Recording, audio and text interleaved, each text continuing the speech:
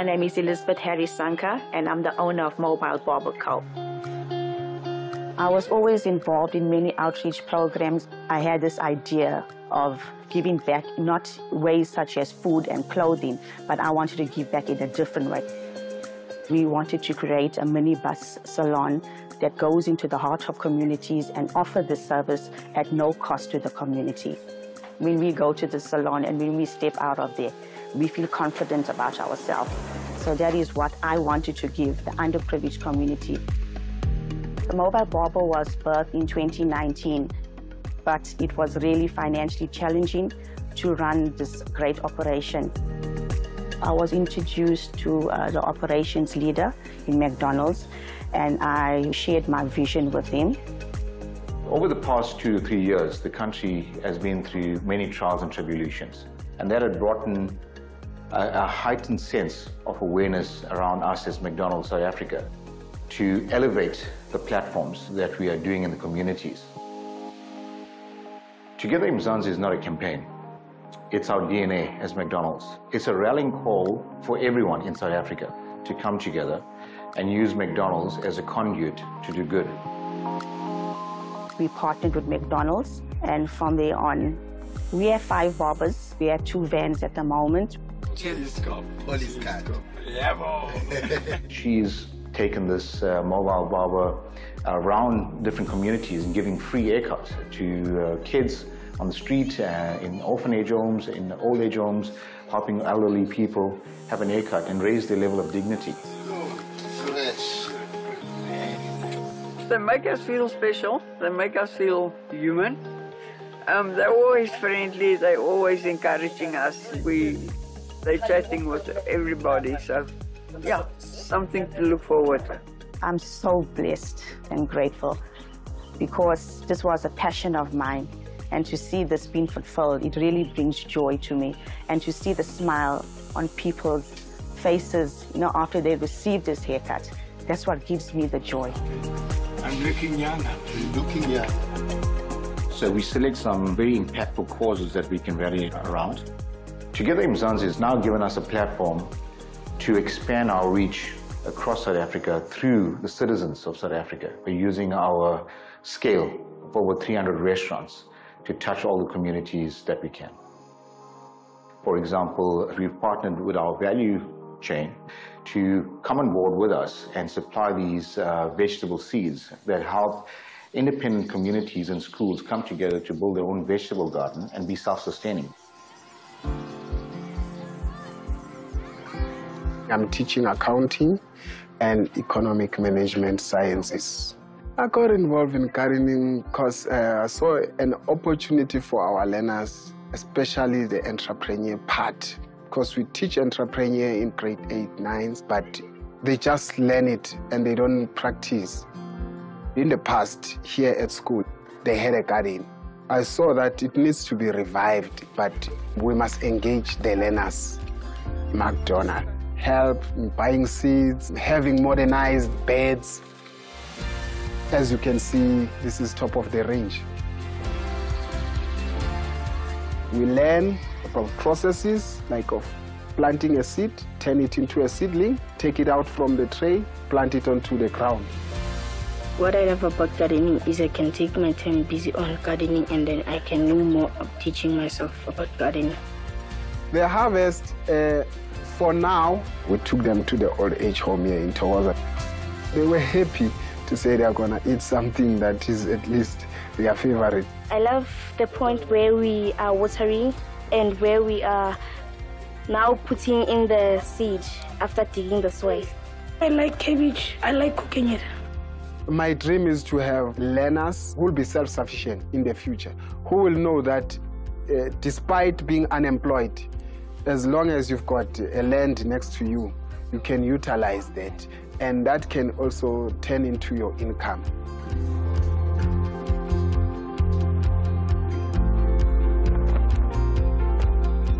As McDonald's franchisees, we're always uh, innovating in, in, in our McDonald's restaurants.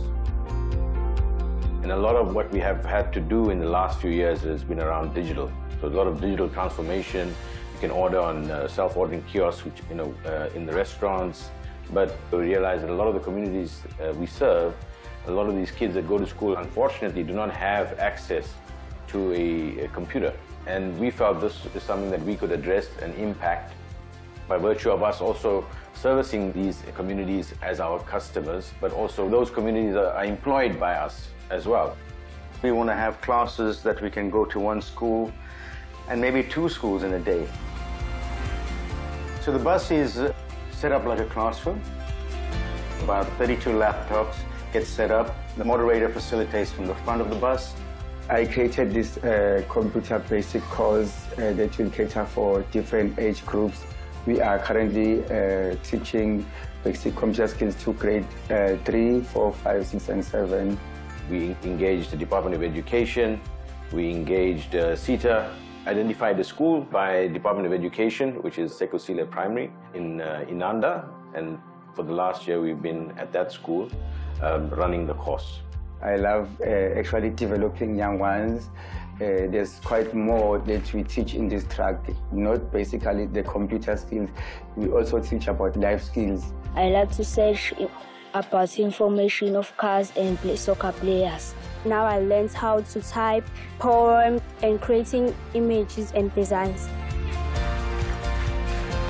Our intention is to build on the first year to visit uh, up to six schools in the calendar year. Knowing that I'm doing something that's impacting their lives and giving more skills that will equip them for the future is an achievement and it also makes me grow as a facilitator, as an individual.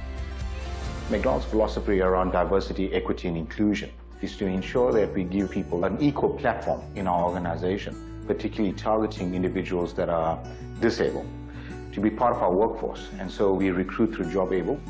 I've been working at McDonald's now. It's been five months now. I work at a drive-thru, helping customers with their orders and helping them to download McDonald's app. I'm the principal of Alta du Toit School for severely intellectually disabled learners. Most of the children cannot read or write. Their emotional level are usually between three and five years old when they reach the age of 18. One of their biggest challenges is to fit into society. So we start off with the basics, make your bed. Uh, we do all these practical skills. They do uh, baking, they do woodwork, they do ancillary health, help with the dishes at home, help in the gardens. So those basics are very important because not all the school leavers have grade 12. We have a problem in our special schools to connect our school leavers with job opportunities. I always get questions from parents, what do my children do after school? So that's how JobAble started. So that's an electronic platform.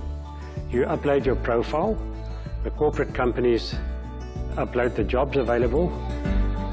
I saw a post on a job abroad.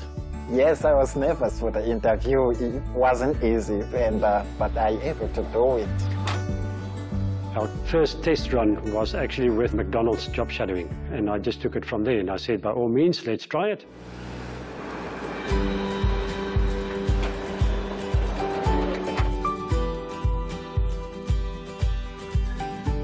I went to the inclusivity training where it helped me understand on how to work with people with disabilities. We need to show them how to work on the stations. Like if they're working on cold drinks, you need to show them and make sure that they do understand.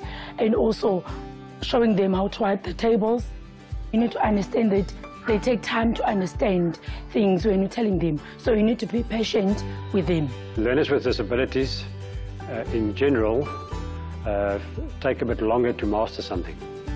So what the program entails is that they go to McDonald's, they basically practice for a year what they need to be able to do. And if they get it right after a year, they get appointed. Uh, there are now, this year, 26 schools taking part in the Western Cape, Eastern Cape, and Southern Cape in the job shadowing program. So we usually have about 40 learners taking part and between 8 and 12 appointments that come from that. Yes, I want to go back because it's very nice. It's wonderful working there.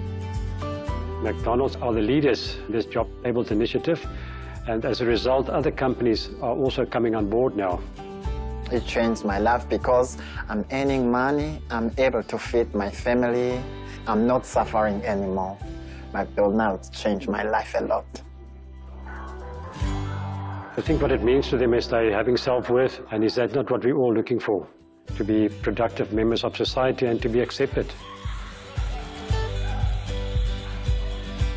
We've seen South Africans rally together, whatever the need is. This is the spirit of South Africa. We, we come together in the time of our crisis, and that's the beauty of our country. That's why there's no us without you uh, together in Mzansi.